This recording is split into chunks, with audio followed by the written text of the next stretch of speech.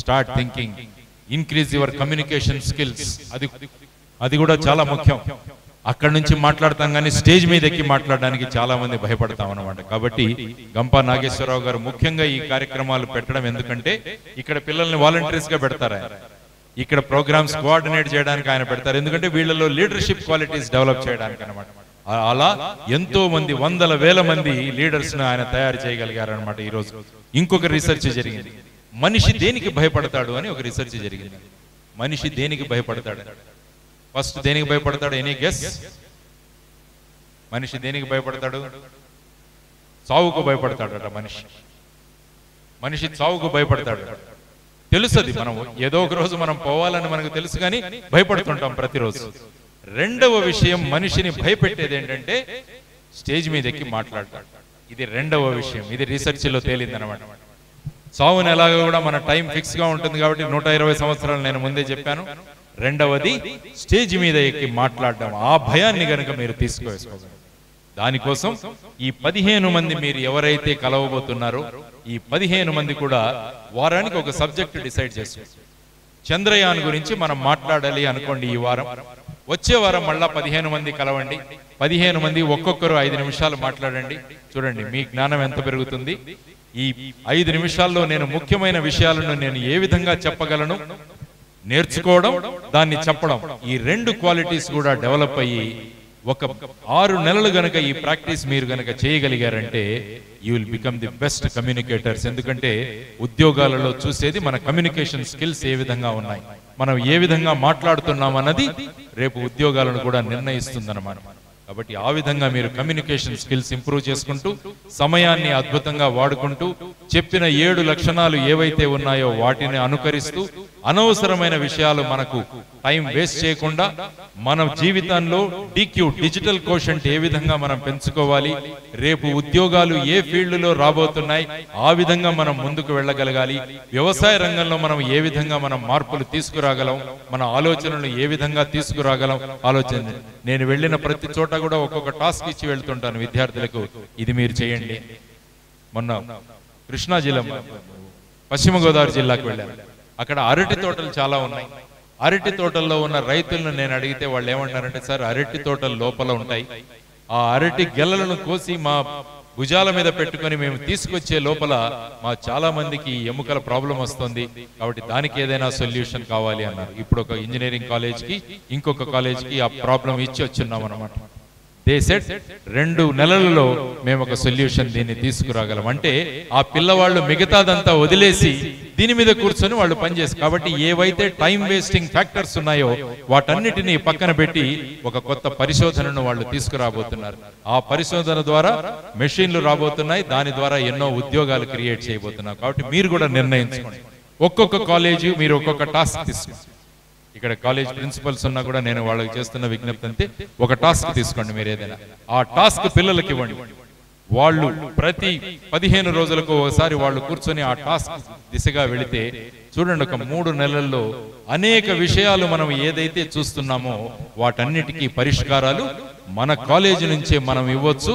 దాని ద్వారా మన విద్యార్థులలో అఖండమైన ఆత్మవిశ్వాసం ఆ విద్యార్థులలో పెరుగుతుంది.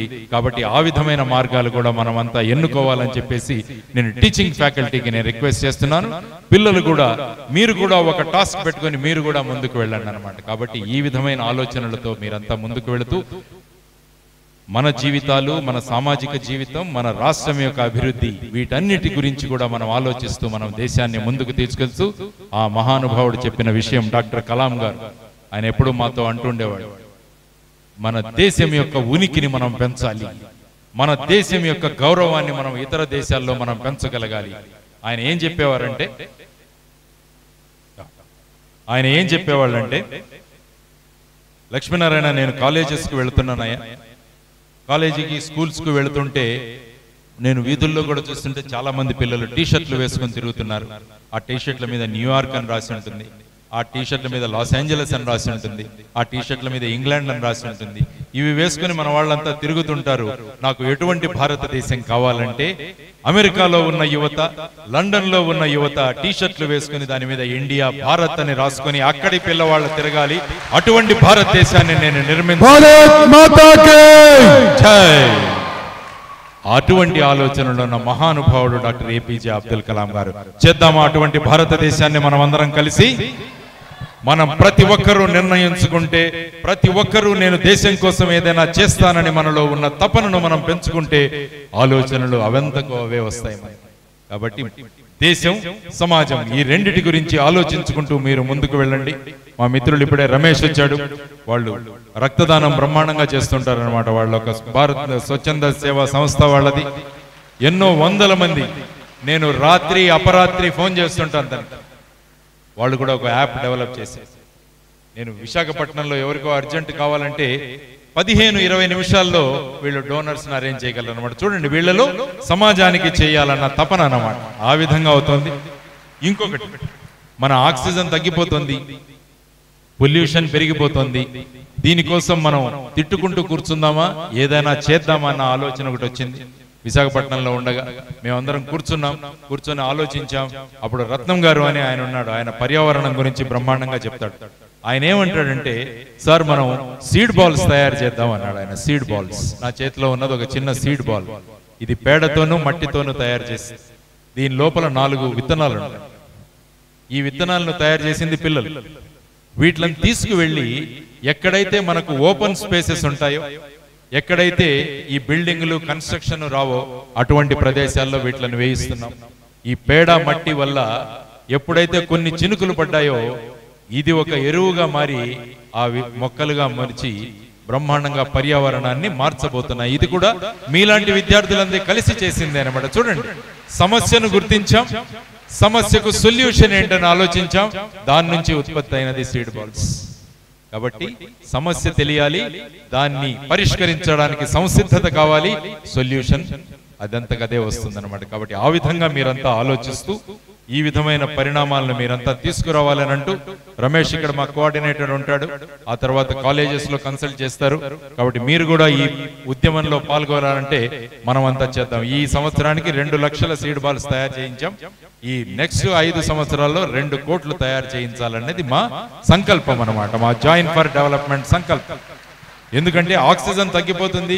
ఇంకా ఆక్సిజన్ తగ్గిపోతే మీరందరూ కూడా కొన్ని రెండు మూడు సంవత్సరాల ఇంపాక్ట్ కార్యక్రమంలో మనం కనుక చేయకుంటే అందరూ వెనకాల ఒక గ్యాస్ సిలిండర్ ఆక్సిజన్ సిలిండర్ పెట్టుకొని మనం అంతా గాలి తీసుకుంటూ ఉండే స్టేజ్కి రాబోతుంది అనమాట ఇరవై ఒక్క శాతం ఉన్నది ఇప్పుడు ఇరవై పాయింట్ సంథింగ్ అయింది. అది పంతొమ్మిదికి వస్తే మనం ఎవరు జీవించలేమన్నమాట. దానికోసం ఒక పౌరుడిగా నా కర్తవ్యం ఏంటి అని మా కుర్రవాళ్ళు ఆలోచించారు.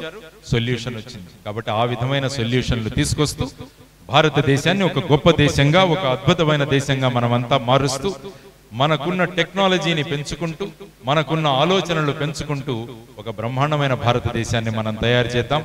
కలాం గారు కలలు కన్న భారతదేశం. ఇరవై ఏడు జూలై ఆయన పరమపదించారు. విద్యార్థులలో మాట్లాడుతూ ఆయన కొలాబ్స్ అయిపోయాడు అనమాట ఆయన. మనిషి చూడండి. ధన్యుడు ఆయన ఎవరైతే ఇష్టమో ఆయనకి విద్యార్థులంటే ఎంత ఇష్టమో వాళ్ళ మధ్యలోనే ఆయన ప్రాణాలు వదిలేశారు కాబట్టి అటువంటి మహానుభావుడి గురించి మనం ఇరవై ఏడవ తారీఖున మళ్ళా ఒకసారి తలంచుకుంటూ ఆయన్ని ఆయన ఏమన్నారంటే మాతో రెండు వేల ఇరవైవ సంవత్సరానికంతా దేశం అంటే భారతదేశంలాగా ఉండాలి పౌరులంటే భారతీయుల్లాగా ఉండాలని చెప్పి ప్రపంచ దేశాలు అనుకోవాలి అటువంటి భారతదేశాన్ని మనం తయారు చేయాలని కలలుగన్న మహానుభావుడు. చూడండి స్పేస్ టెక్నాలజీలో భారతదేశాన్ని ఎంత ముందుకు తీసుకెళ్ళాడు ఆయన. స్పేస్ టెక్నాలజీలో ఈ రోజు చంద్రయాన్ టూ గురించి మాట్లాడుకుంటున్నాం. ప్రపంచ దేశాలు భారతదేశం గురించి మాట్లాడుకున్నాడు అంటే దానికి ఆయన విక్రమ్ సారాభాయ్ గారు వీరందరూ కూడా గొప్ప కాంట్రిబ్యూషన్ చేసిన మహానుభావులు అన్నమాట. కాబట్టి వాళ్ళను సమర్పించుకుంటూ వెళుతూ వెళుతూ మూడు విషయాలు నేను ఎప్పుడు చెబుతుంటాను. విద్యార్థులను నన్ను ఎప్పుడు అడుగుతుంటారు. సార్ మా జీవితంలో ఏం లక్ష్యాలు ఉండాలి? మా జీవితంలో ఏం గోల్స్ ఉండాలి? అని అడుగుతుంటారు ఇది రిపీట్ కావచ్చు కానీ ప్రతి మీటింగ్లో నేను చెప్తుంటాను విద్యార్థులు ఉన్నప్పుడు. విద్యార్థుల మొదటి లక్షణం. మొదటి లక్ష్యం జీవితంలో ఏముండాలంటే నా వల్ల మా అమ్మ నాన్నకు పేరు రావాలి. మా ఊరికి పేరు రావాలి మా రాష్ట్రానికి పేరు రావాలి మా దేశానికి పేరు రావాలన్నది మీ మొదటి లక్ష్యం. రెండవ లక్ష్యం విద్యార్థులకు. నేను ఏ స్కూల్లో అయితే ఏ కాలేజీలో అయితే నేను చదువుతున్నానో ఆ కాలేజీకి నేను ముఖ్య అతిథిగా వెళ్ళగలగాలి అని విద్యార్థుల మనస్సుల్లో అనుకోవాలని yes I will go as chief guest to my alma నేను చదువుకున్న స్కూల్కి చదువుకున్న కాలేజీకి మా ప్రిన్సిపాల్ గారు నన్ను ముఖ్య అతిథిగా పిలిస్తే నేను వెళ్ళి కుర్చీలో కూర్చొని అప్పుడు విద్యార్థులతో మాట్లాడుతుంటే ఆ వచ్చే ఆ ఏ విధమైన అనుభవం ఏదైతే ఉంటుందో ఆ అనుభవం బ్రహ్మాండమైన అనుభవం. మూడవ ముఖ్యమైన లక్ష్యం మీరు మొన్న ఒక స్కూల్కి కాలేజీకి వెళ్ళాను ఆ కాలేజీకి వెళ్ళాడు కానీ మీ ఫేవరెట్ ఎవరు? మీ రోల్ మోడల్ ఎవరు? అంటే కొంతమంది సినిమా యాక్టర్ల పేర్లు చెప్పారు కొంతమంది. ఒక కొంతమంది సార్ మాకు బాహుబలి చాలా ఇష్టం ప్రభాస్ అంటే మాకు చాలా ఇష్టం అని. ఓకే. ప్రభాస్ని మీ దగ్గరికి తీసుకొస్తానని చెప్పాను. ఎందుకంటే ప్రభాస్ నాకు పరిచయం ఆయన తీసుకురానా అంటే అందరూ అన్నారు. కాబట్టి విద్యార్థుల మూడవ లక్షణం ఏమి ఉండాలంటే అప్పుడు వచ్చినప్పుడు అందరూ ఆటోగ్రాఫ్లు ఫోటోగ్రాఫ్లు తీసుకున్నారు ఆయన. కాబట్టి విద్యార్థుల లక్షణం ఇవ్వాలంటే ఆ కాలేజీలోనే చెప్పాను. రేపు ప్రభాస్ లైన్లో నిలబడి మీ ఆటోగ్రాఫ్ల కోసం ఎదురు చూడాలి అటువంటి జీవితాలు మీరు మారాలి అని చెప్పాను. కాబట్టి ఇది మూడవ లక్ష్యం ఉండాలి విద్యార్థి. నా వల్ల మా అమ్మ నాన్నకి మా ఊరికి మా రాష్ట్రానికి దేశానికి పేరు రావాలి. నేను చదువుకున్న స్కూల్కి చదువుకున్న కాలేజీకి ముఖ్య అతిథిగా వెళ్ళాలి. ఏ వ్యక్తి ఆటోగ్రాఫ్ నేను ఈ రోజు తీసుకోవాలనుకున్నారో ఆ వ్యక్తి లైన్లో నిలబడి నా ఆటోగ్రాఫ్ కోసం ఎదురు చూడాలి. ఈ మూడు లక్ష్యాలు గనక మీరు జీవితంలో పెట్టుకోగలిగితే నథింగ్ ఈజ్ ఇంపాసిబుల్ అసాధ్యం అన్నది లేదు impossible also says I'm possible impossible is nothing but I'm possible కాబట్టి అసాధ్యం అన్నది లేదు ఆ అసాధ్యాన్ని మీరందరూ కూడా సాధిస్తారని మనస్ఫూర్తిగా ఆలోచిస్తూ ఆకాంక్షిస్తూ మీ అందరికీ శుభం జరగాలని కోరుకుంటూ భారతదేశాన్ని ఉన్నతమైన దేశంగా ఒక అభివృద్ధి చెందిన దేశంగా చూడాలని మన సంకల్పన చేస్తూ మీతో మాట్లాడే అవకాశం ఇచ్చినందుకు మిత్రులు గంప నాగేశ్వరరావు గారికి ఆయన ఇంపాక్ట్ టీం కి ఈ కార్యక్రమం స్పాన్సర్ చేసిన అందరికీ మా గోరంట్ల రమణ గారికి మీ అందరికీ కూడా కృతజ్ఞతలు తెలియజేసుకుంటూ నేర్చుకున్న విషయాలను ఇక్కడికి మర్చిపోకుండా పదిహేను మంది గ్రూప్స్ మనం తయారు చేసి కొత్త కొత్త ఆలోచనలతో ముందుకు వెళదామని సంకల్పిస్తూ సెలవు తీసుకుంటున్నాను. జై హింద్.